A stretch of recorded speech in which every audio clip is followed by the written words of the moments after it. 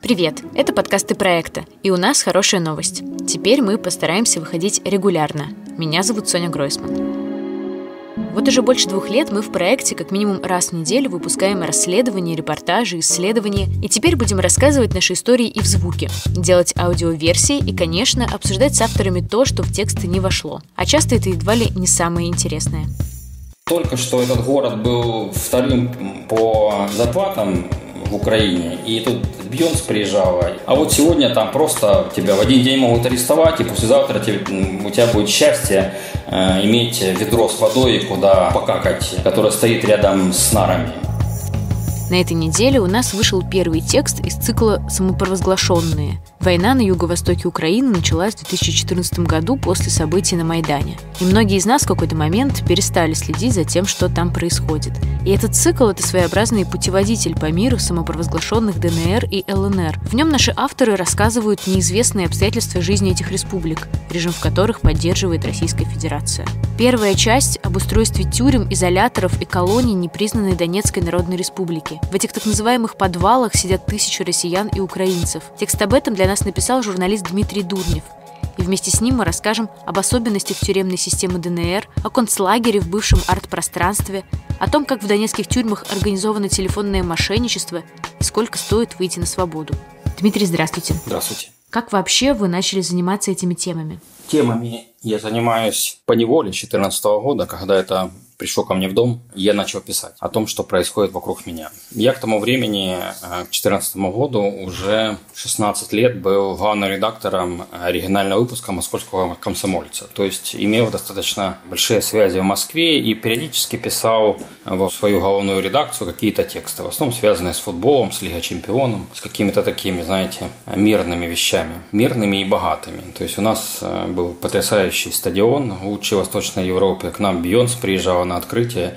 И регион у нас был очень такой приличный. И когда все вокруг это начало рушиться, начали мне говорить, что у вас тут сейчас все повалится, вот сейчас наши придут. Почему-то никто не вспоминал про Майдан, честно говоря. Все говорили, сейчас наши придут после Крыма. И вот все тут у вас повалится. Как-то мне это ну, невероятно было. Особенно беспокоили, когда все это сравнивали с Югославией. Знаете, я недавно понял, что в день, когда я выехал встречать колонны Стрелкова, заходящего в город, и все окончательно у нас там рухнуло, в этот день у меня продолжался ремонт квартире. В этот день я должен был выбирать плитку. Понимаете, это было для нас, мы очень тяжело входили в эту войну. Очень тяжело. И потом э, я писал о всем, что видел вокруг.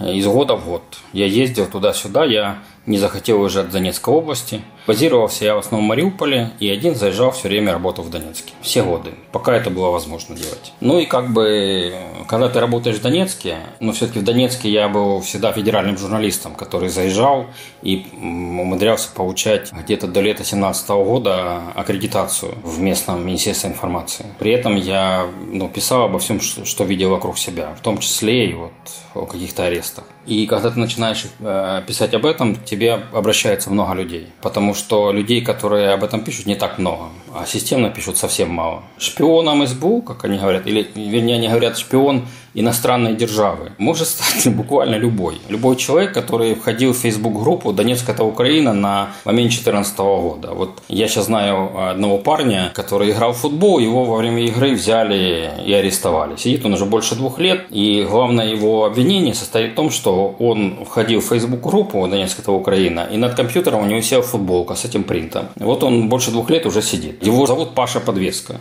Его мама вот суетится вокруг него и ничего не может сделать.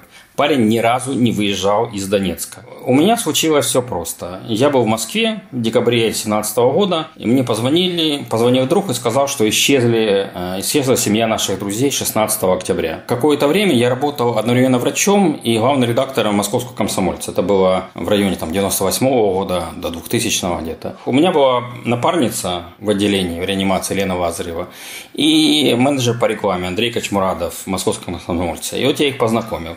Лена Лена была выраженной экстравертом, а он выраженным интровертом. И это была такая пара э, сумасшедшая. И она живет вместе до сих пор. И вот они вместе в один день были арестованы, вместе провели два с половиной года в тюрьме ДНР. Для меня это был такой шокирующий вариант. Вот Лена и Андрей, и вдруг они вот в этом знаменитом только по выходу выяснилось, что они около двух лет провели в концлагере изоляция. Потом в колонии 32-й Андрей был, Лена была в Снежном женской колонии, какое-то время они в СИЗО были э, в Донецком. И за эти два с половиной года они увидели друг друга один раз. И когда это случилось, я сразу же написал э, вот, под своей фамилией большой текст в «Московском комсомольце» о том, как э, возникают сети СБУ на территории ДНР. Как они... Вот я как основополагатель этой сети Э, шпионов СБУ, я их познакомил в свое время, вот писал такую горячую явку с повинной. То есть я пытался сделать их людьми, которых нельзя убить и нельзя, чтобы они просто пропали. Ну и поскольку я писал об этом и приезжал в Донецк при этом, то на меня начали выходить родственники узников каких-то, люди, которые вышли оттуда. И эти истории множились, множились, множились, множились. Потом я написал большой материал о том, как выстроена юридическая система ДНР, как она выстроилась к тому времени, как вообще видоизменялось все там. И все завертелось. А что вообще нужно знать про то, как устроена система тюрем в ДНР? Кому она подчиняется, по каким законам, э, кто там сидит? Это очень огромный массив, который человеку со стороны не понять. А Донецкая область была второй после Кемеровской, после Кузбасса, по плотности тюрем в СССР у нас было 20 мест лишения свободы. Три следственных изолятора и 17 различных колоний. Вот ДНР досталось один самый большой следственный изолятор в Донецке и 13 колоний. Рядовой персонал весь остался на месте, часть начальства осталась тоже на месте. И вот э, это вместе с заключенными. Вот заключенных около 9 тысяч тоже остались на месте в основном. Из этих 9 тысяч заключенных где-то сейчас осталось 6. Это в основном люди, осужденные за криминальные преступления. К ним добавляются люди, осужденные за вернее, задержаны за политические преступления. Это просто нелояльные к ДНР люди, чаще всего. То есть ловят каких-то агентов СБУ, которые действительно бывает заезжают, ловят диверсантов каких-то иногда. Есть пленные солдаты. И есть большое количество гражданских, которых просто вот задерживают, потому что они что-то пишут в социальных сетях. Или писали в социальных сетях, или ведут какой-нибудь э, блог под вымышленным именем в социальных сетях, вот э, их, их берут. Их не так много, потому что их все-таки меняют, и их постоянно около 300. В тюрьмах есть люди, которые осуждены уже судами ДНР.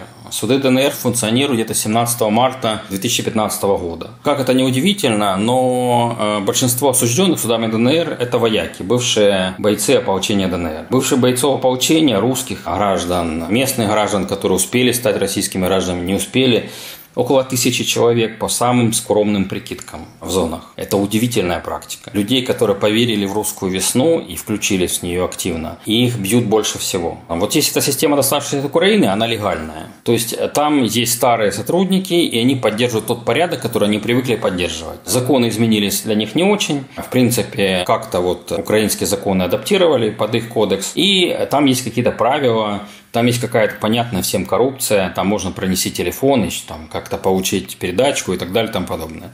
И есть неофициальные тюрьмы, вот типа концлагеря изоляции или следственного изолятора МГБ под зданием МГБ, или подвалов под э, УБОПом Донецким, куда Э, передать посылку, некоторые передают передачи, но что доходит, непонятно. То есть нет никаких правил, короче. Это люди сидят вот в каких-то ну, информационном мешке. Вот он попал в МГБ и все, исчез как бы. И вот существуют две таких системы, которые время от времени меняются заключенными. То есть человек посидел в изоляции, пришло время его менять, его передали в суд. А если он русский человек, то он сидит в изоляции бесконечно. Это тоже вот надо понимать. И никто русского человека там защитить не может. Граждане России там самые, в этой системе самые бесправные люди. Разница именно в этом, в спокойном методичном произволе, под который может попасть любой человек. Вот любой, от первого лица республики до э, последнего. Надо сказать, что осужденные местными официальными судами – это только видимая часть очень своеобразной системы тюрем ДНР. Одна из самых страшных частей в путеводителе посвящена изоляции – это место, которое называют концлагерем. Это официально несуществующее СИЗО местного Министерства госбезопасности, МГБ. На улице Светлого пути, оцените название улицы, улица Светлого пути в Буденновском районе находился Донецкий завод изоляционных материалов. Это советский мощный завод, что предполагает сразу же наличие мощных подвалов, бомбоубежища на случай ядерной войны и железобетонных зданий по всей территории. Дочка последнего директора этого завода, который приватизировал весь этот советский монстр, сделала на территории завода арт-пространство изоляция. Там развивалась куча проектов, которые поддерживало американское посольство, там, в том числе местная власть, там, кто угодно. Там э, просто вот э, была такая территория свободы в Донецке.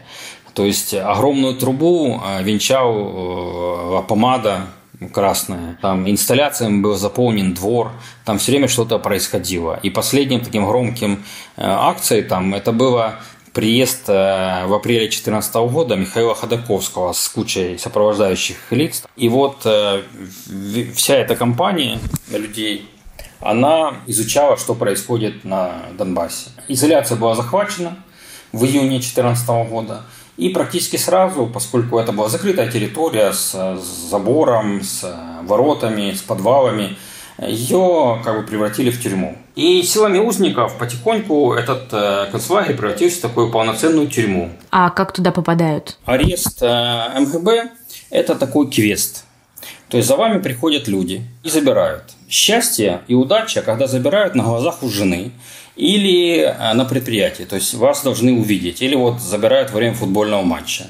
Тогда человек не пропадает бесследно. Вот э, мои друзья Андрей Кочмурадов и Лена Лазарева пропали бесследно. Она возвращалась из Красноармейска, ее приняли прямо под подъездом. А потом зашли к мужу, позвонили, он открыл дверь, и он больше не хочет вспоминать этот день, как бы вот нарвался на обыск и так далее. То есть их обоих арестовали, никто этого не видел и начали их искать дней через 15. Для них, как все развивается, их привозят э, в подвал э, здания МГБ на бульваре Шевченко 26 и садят в подвал, где они сидят сутки, двое, и из них быстро выбивают какие-то показания. Обычно очень быстро, потому что им особо и показывать нечего. Из них выбивают подпись там под каким-то протоколом, очень быстро все оформляют, и э, после этого отправляют в изоляцию. Вот в изоляцию уже отправляют людей с выбитыми полностью показаниями. То есть они уже украинские шпионы, там, я не знаю, там, шпионы иностранных государств и страшные диверсанты. Но если это речь идет о гражданских, о реально гражданских, которые особо ничем не занимались. И вот они попадают э, в изоляцию, где с них уже, ну, их не вызывают на допросы с изоляции. Ну, максимум с изоляции могут там вывести на какой-то суд, но и то я таких не встречал как бы особо. И вот они сидят в изоляции, совершенно бессмысленно над ними там издеваются. А могут попасть не в изоляцию. Как я поняла, особенность изоляции в том, что люди оказываются там без суда, и с ними не происходит вообще никаких следственных действий. Люди там сидят месяцами и даже годами и подвергаются нечеловеческим каким-то садистским пыткам, избиениям, даже изнасилованиям. Об этом рассказывают те, кому удалось оказаться на свободе после обмена, в том числе герой нашего репортажа Андрей Кочмурадов. Он рассказывал, э, как его били. Он рассказывал, что э, единственной его защитой было то, что э, его было скучно бить. Вот он принимал побои, но не смеялся, не бегал, не кривлялся, ничего. Вот хочется вам меня побить, бейте. Э, их могли избивать привилегированные люди, которые, ну, э, кроме надзирателей, которые э, им по долгу службы вроде как они там вот нанялись туда садистами. Их могли бить какие-то привилегированные члены их камер. То есть это не всегда российские какие-то люди арестованные. Это, как и неудивительно, могут быть и засланные СБУ какие-то. То есть есть привилегированные люди, а есть люди были, которые опущены, вот как это зэки называют. То есть они там, их держат в углу камеры, все, и одновременно используют того, как, чтобы поиздеваться над другими пленниками, побить кого-то там. От его историй, очень банальных, э, веет холодом, таким ужасом э, того, что как мы близко, совершенно близко э, вот э, наша цивилизация от того, чтобы упасть в какое-то полное безумие, э, в полный такой фашизм. Совершеннейший. Вот только что этот город был вторым по зарплатам в Украине, и тут Бьонс приезжала, и Лига чемпионов играла. А вот сегодня там просто тебя в один день могут арестовать, и послезавтра тебе, у тебя будет счастье э, иметь ведро с водой, куда покакать, которое стоит рядом с нарами. И это, и это счастье. Или бутылку с водой, чтобы хлебнуть. Или 10 минут покоя, когда тебя не бьют. И это больше всего поражает, понимаете? Это все больше всего поражает то, что это происходит с твоими друзьями, обычными, совершенно обычными людьми когда тебя просто бьют, ты не можешь дать ответа никакого. Это исключено. Ты просто вот должен терпеть, когда тебя бьют, и пока им надоест. Говорит бывший заключенный изоляции Андрей Кочмурадов. Я думаю, что, знаешь, есть вот люди, которых приятно, наверное, бить. Но оно все это выглядело как развлечение какое-то. Он гоняется за ним по всей камере. А этот визжит, убегает. И этот э, хохочет. Смотришь, как весело. То есть он как бы... Ну, люди как бы, наверное, понимали, какую роль он должен играть чтобы с минимальными потерями выйти из этого все. И играли эту роль. Вы хотите, э, чтобы я был шутом? Ну, буду шутом. А есть такие, которых, ну, ну и пи***ят, ну неинтересно, наверное, устанешь просто. Ну, никаких положительных эмоций. Ну, может, они и есть, но не те, как бы. Ну, наверное, я таким был, еще кто-то. Ну, то есть я не играл в игру. Ну, вы будете меня пи***, ну, я терплю, пока вам не надоест. Вот как бы так. А есть те, которых, ну, это весело, вот как-то так. Они сами такие. Если ты политический заключенный, то ты находишься вне всяких юридических практик. То есть ты просто, ну, все там прописанные права и обязанности на тебя не распространяются особо, и ты просто ждешь обмена. И когда есть политическое решение по обмену, тебя в один день, вот Андрея и Лену, э, Андрея Кочмурадова и Елену Лазареву, э, в один день августа вывез, вывезли в суд. И за эти там несколько часов прошло сразу два заседания суда, одно за другим, э, на которых им дали там 14-15 лет. Просто вот. Я читал их Обвинительное заключение, ну, это просто, ну, это смешно просто. Вот у Лены ей дали 14 лет тюрьмы, э, согласно этому заключению, потому что она сфотографировала на территории своей больницы бывшего депутата Верховной Рады Бабкова, то есть человека, ну, который имеет тысячи фотографий в его сети, и комбата Олега Мамиева, позывной Мамай, который был, извините, убит э, во время съемки э, сюжета э, «России-24». То есть он был абсолютно ну, публичный человек, который давал кучу интервью, везде снимался, и когда снимали о нем сюжет, он там вышел в соседнюю траншею, тут прилетела граната, и вот в прямом эфире он погиб. То есть, ну, эти люди совсем не секретные. А вот есть дело, в котором бойцы батальона «Пятнашка» разбирают, что они на фотографии этой врачихи видят э, своего командира роты и командира батальона. Как бы, и это основанием для приговоров 14 лет. Никто этим приговорам особо не сопротивляется, потому что все понимают, что эти приговоры – это путь на свободу через обмен. Программиста Кочмурадова и врача Лазарева обменяли год назад. Они провели в тюрьмах сначала в изоляции, а потом и в СИЗО больше двух лет. И только этой осенью они согласились рассказать о том, что с ними там происходило. До его рассказа о том, что с ним происходило, от его освобождения прошло 10 месяцев. Я приехал к ребятам э, еще в больницу Феофания. Но они были в том состоянии, когда людям не очень хочется говорить. Но э, Андрей был заряжен на то, что люди должны узнать, что с ними происходило. И он мне тогда сказал, ты знаешь, ко мне сейчас вот придут психологи, вот за тобой они стоят в палате. Я включу диктофон и запишу наш разговор с психологами. И он записал этот час и мне передал. И вот я вам честно скажу, я его до сих пор не смог прослушать. Вот я, я не могу просто. Ну, этот год мы время от времени встречаемся, там, чай пьем, там, пересекаемся. Подумай до вечера. Хорошо, я тебе вечером перезвоню. Мне кажется, что это надо вот... Это просто надо рассказывать, говорить ну, и... Я, ну, да, но это уже, знаешь, произведения какие-то художественные. Ты, У меня тоже вот есть ощущение, мне. что страшнее те вещи, которые рассказываются спокойно и, ну, как-то...